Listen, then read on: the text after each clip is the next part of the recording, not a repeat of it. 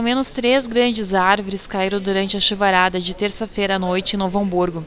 Duas quedas aconteceram na rua Carchink, bairro Rondônia. A primeira foi a poucos metros do cruzamento com a rua Guia Lopes, danificando o muro da residência.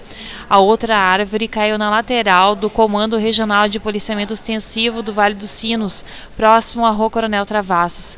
A via foi interrompida e o batalhão da brigada ficou sem luz.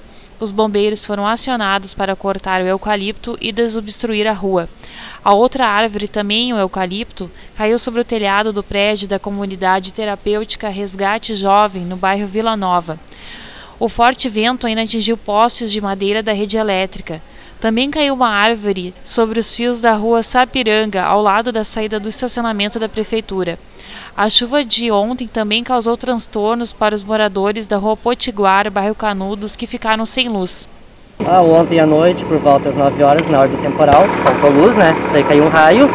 E daí depois da nós fiquemos sem luz e estamos até agora sem luz. A gente chama a S Sul. Eles dizem que não tem código do cliente, que em duas horas estão saindo de lá e não vem. E as coisas dentro da geladeira estão estragando. É a primeira vez que faltou luz Não, a segunda vez. Semana passada fiquemos três, três dias sem luz.